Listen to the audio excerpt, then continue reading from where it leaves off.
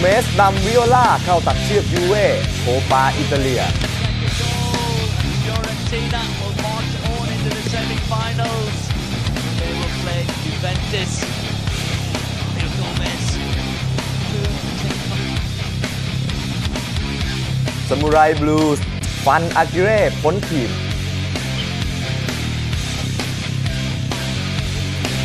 Bueno, pues yo creo que ahora empezamos todos de cero.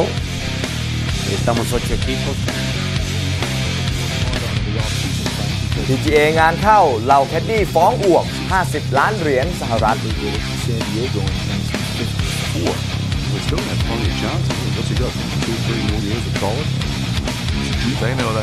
1954. สวัสดีครับ สวัสดีค่ะ ต้อนรับคุณผู้ชมเข้าสู่ Sport Today Extra นะคะ ประจำวันพุธที่ 4 กุมภาพันธ์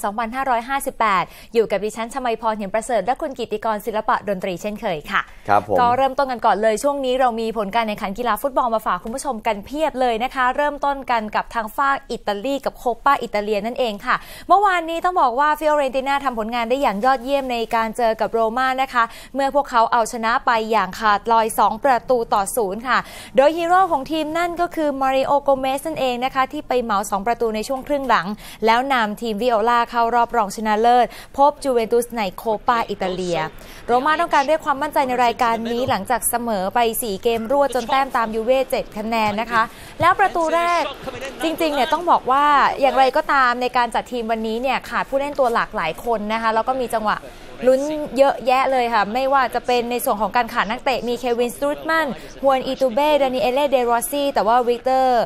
กับทางด้านของนิโคลัสโปลีสองแข้งใหม่ก็เป็นตัวสำรองนะคะ ในขณะที่ประตูแรกเกิดขึ้นในนาทีที่ 65 ค่ะ มานูเอลปาสควาลเปิดจากซ้ายให้มาริโอโกเมสทำประตูที่เสาแรกนะคะ ให้ฟิโอเรนติน่าขึ้นนำไปก่อน 1 ประตูต่อศูนย์ ฟิโอเรนติน่าเองก็ขาดหลายคนค่ะอัลแบร์โต้อควิลานี่กอนซาโล่โรดริเกซจูเซปเป้รอสซี่เฟเดริโก้แบร์นาร์เดสกี้นะคะแล้วก็นี่คือประตูปิดท้ายค่ะของฟิโอเรนติน่าปาสควาผ่านให้โกเมสจับบอลเข้ากรอบเขตโทษก่อนยิงเสยตะข่าย และเป็นฟิโอเรนติน่าที่ชนะโรม่าไป 2 ประตูต่อศูนย์เข้าไปสู่รอบรองชนะเลิศซึ่งจะพบกับจูเวนตุสในวันที่ 4 มีนาคมนี้ค่ะ All round there from uh, Fiorentina again. ก็เกม Pasquale. นี้ที่จริงโรม่านั้นครองบอลทำเกมได้เยอะกว่านะครับแต่สุดท้ายแล้วจังหวะจบนี่ Uh, โกเมสคมมาก ใช่แล้วค่ะ คือเป็นสองลูกที่ได้คือเป็นความสามารถเฉพาะตัวของมาริโอโกเมสทั้งนั้นเลยนะคะครับ แล้วก็ส่งผลให้ฟิโอเรนติน่าผ่านเข้าสู่รอบต่อไป ซึ่งก็ถือว่าต้องเจองานหนักนะคะ เมื่อต้องเจอกับจ่าฝูงในกัลโช่เซเรียอาจูเวนตุสนั่นเองค่ะแต่รอบลึกๆแบบนี้ครับ ไม่ว่าจะทีมไหนก็มีโอกาสได้แชมป์กันทั้งนั้นแหละครับ ใช่ค่ะครับและที่สำคัญครับคืนนี้ครับยังมี preview โคปาอิตาเลียอีกหนึ่งคู่นะครับ เป็นคู่ของนาโปลีครับกับอินเตอร์มิลานครับเดี๋ยวไปติดตามชมกันครับ เกมนี้ครับ ราฟาเอล เบนิเตสนำนาโปลีลุ้นแชมป์โคปาอิตาเลียครับ พบกับอินเตอร์มิลาน อดีตต้นสังกัดที่ฟอร์มไม่ดีครับ ในรอบ 8 ทีมคืนนี้ทางด้านของกุนซือนาโปลีครับก็ไม่เสียใจแม้ว่านาโปลีจะออกสตาร์ทเกมลีกต้นฤดูกาลได้ไม่ดี แต่อย่างไรก็ตามครับ 5 เกมหลังสุดนาโปลีเก็บชัยชนะได้ 4 นัด มีแต้มเป็นอันดับ 3 ตามหลังโรม่าอันดับ 2 อยู่ 4 คะแนนเท่านั้น ราฟาบอกว่าตอนนี้ครับนาโปลีต้องการคว้าแชมป์รายการนี้ให้ได้ เพราะการลุ้นแชมป์ลีกถือว่าหนักเลยทีเดียว เนื่องจากตามหลังยูเวนตุสทีมจ่าฝูงอยู่ถึง 11 คะแนนด้วยกันสำหรับเกมคืนนี้ครับเบนิเตสก็ประกาศรายชื่อออกมาแล้ว โดยที่ฟาอูซี่กูลัมครับอยู่ในทีมอีกด้วยอินเตอร์มิลานครับไม่ชนะมาในลีกแล้ว 3 เกม ล่าสุดก็เพิ่งแพ้ซัสซูโอโล่ครับจนตกไปอยู่อันดับ 13 ส่วนรายการนี้ครับในรอบ 16 ทีม อินเตอร์ก็สามารถผ่านทางด้านของซัมพ์โดเรียเข้ามาได้ โรเบโตมันชินีครับกุนซือของอินเตอร์มิลานในเกมนี้ครับจะมีการเปลี่ยนแปลงการจัดนักเตะ พร้อมที่จะส่งดาวิเดซันตอนครับลงสนามหลังจากที่เจ้าตัวนั้นโชว์ผลงานในการซ้อมได้ดีครับ ขณะที่มาร์เซโลโบรโซวิชครับ จะได้ออกสตาร์ทเป็นตัวจริงเกมแรก ส่วนในรายของมาเตโอโควาซิชครับจะแล้วก็ทางมันชินีครับ ได้กระตุ้นให้เขาเร่งผลงาน หลังจากที่ฟอร์มตกเลยครับสำหรับโควาซิชครับและนัดนี้ครับก็น่าจะได้รับโอกาสออกสตาร์ทเป็นตัวจริง ในเซเรียอาเกมแรกครับอินเตอร์นั้นเปิดบ้านซานซิโร่ครับเสมอกับนาโปลีไป 2 ประตูต่อ 2 ส่วนในเกมนี้ครับโคปาอิตาเลียรอบรองก่อนรองชนะเลิศนะครับ8ทีมสุดท้าย ก็สามารถติดตามชมได้ครับเวลาตี 2.45 ทาง True Sport 1 แล้วก็ True Sport HD ครับซึ่งคู่นี้ ถ้าทีมไหนชนะนะครับ จะผ่านเข้าไปเล่นในรอบรองชนะเลิศครับ พบกับลาซิโอ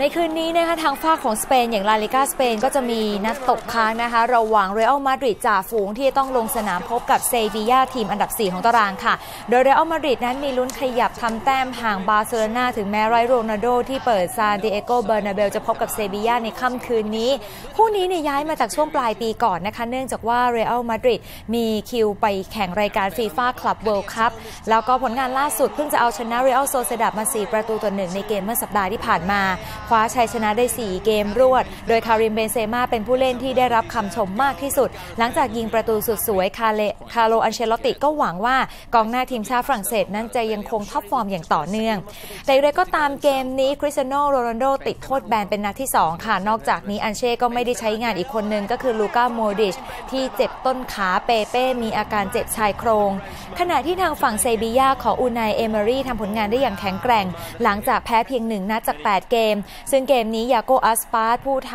ำประตูชัยในเกมเชือดเอสปันยอล3ประตูต่อ 2 หวังช่วยพาทีมทำอันดับเพื่อไปยูฟ่าแชมเปี้ยนส์ลีกให้ได้ โดยเกมนี้เอเมอรี่ต้องรอเช็คความพร้อมของเบโต้ผู้รักษาประตูมือหนึ่งที่เจ็บจากเกมนัดก่อนแล้วก็ถูกเปลี่ยนตัวในช่วงพักครึ่ง ถ้าลงเล่นไม่ได้โอกาสจะตกเป็นของเซอร์คิโอริโกคุณผู้ชมติดตามการถ่ายทอดสดคู่นี้ได้นะคะ2นาฬิกา45 นาที True Sport HD 2667 Gonzalez really doing a good job of it so far, but here's Bacca. บอกว่าตอนนี้ครับข่าวนี้จะเป็นข่าวที่กำลังอ่าค่อนข้างที่จะโด่งดังเลยทีเดียวครับในกรณีของอ่าสมาคมฟุตบอลญี่ปุ่นนะครับก็ยืนยันที่จะปลดทางด้านฮาเวียร์อากิเร่ครับออกจากตำแหน่งเทรนเนอร์ของทีมชาติแล้วครับหลังจากที่อ่ามีปัญหาพัวพันกับการล็อกผลการแข่งขันระหว่างคุมทีมที่ลาลิกาสเปนนะครับซึ่งอากิเร่เนี่ยก็ถูกกล่าวหาว่า มีส่วนพัวพันในการล็อกผลฟุตบอลครับในช่วงที่ เขาคุมทีมในลาลิก้านะครับพร้อมกับมีผู้เกี่ยวข้องอีก 30 คน ซึ่งเกมนั้นครับเป็นเกมที่เลบันเต้พบกับเรอัลซาราโกซาเมื่อเดือนพฤษภาคม